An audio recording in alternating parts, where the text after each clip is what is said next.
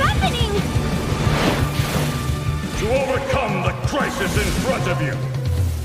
By giving everything you've got. And save people. No matter the cost. That's what makes someone... A hero!